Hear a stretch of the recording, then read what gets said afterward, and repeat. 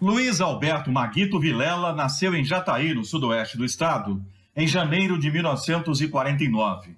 Desde pequeno esteve envolvido com política e futebol. Chegou a jogar como zagueiro da Jataiense na década de 1970.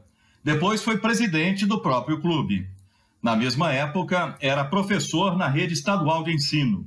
É formado em Direito por uma faculdade particular de Anápolis.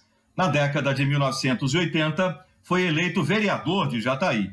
Depois, deputado estadual e mais tarde federal.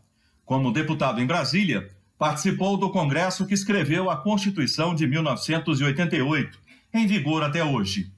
Como constituinte, entre outros temas, votou a favor da reforma agrária, da legalização do jogo do bicho, da segurança no emprego dos trabalhadores, do direito a voto para adolescentes acima de 16 anos, contra o comércio de sangue e contra a pena de morte. Foi vice-governador de Goiás a partir de 1991.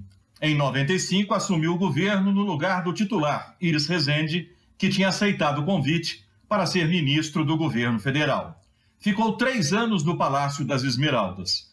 Na sua gestão, foi construído o eixo Anhanguera de transporte coletivo e o ginásio Goiânia Arena. Em 98, Maguito foi eleito senador. Quatro anos depois, perdeu a eleição de governador para Marconi Pirillo. Voltou a disputar o cargo em 2006, mas acabou derrotado, desta vez por Alcírios Rodrigues, no segundo turno. Em 2007, foi escolhido no governo Lula presidente do Banco do Brasil.